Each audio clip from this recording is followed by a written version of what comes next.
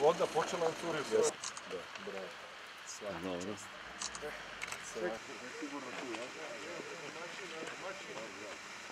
Svaka čast. prvo otvorenje i veliko zadovoljstvo, velika sreća selo. drago mi je, pričamo o dva kao preko, potrebno i za normalno podržimo finansijski i da konačno obezbedimo vodu u Sotu.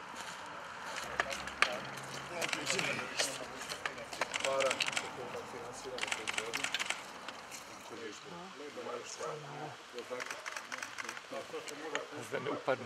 Zajedno, dakle, gde ćemo, dobro? Tu udruga neće na kameru. Znači, Semenoviću, stigla voda u Sot.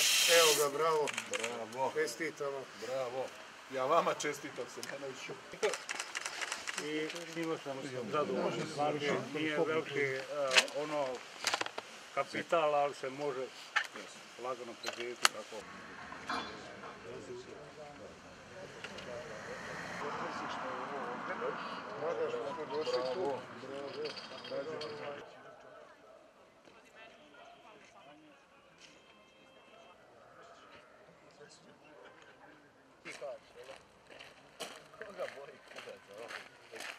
Pa viš da nekog.